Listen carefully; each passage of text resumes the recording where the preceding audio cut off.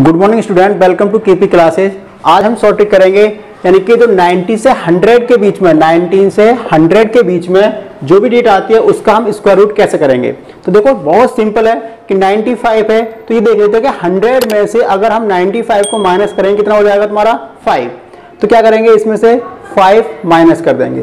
तो कितना आ जाएगा ये? 90 और जिस चीज़ को हम क्या कर रहे हैं? माइनस कर रहे हैं, उसका क्या कर देना है? स्क्वायर ये आपका आंसर आ जाएगा।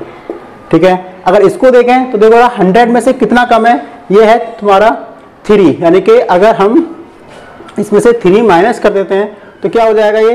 ये हो जाएगा आपका नाइन्टी फोर और थ्री ये वाली जो है तो इसको नाइन तो ये आपका इसका आंसर आ जाएगा। अगर आपको मेरा वीडियो पसंद आया तो लाइक करें सब्सक्राइब करें और जितना हो सके अपने फ्रेंड में शेयर करें। Thank you for watching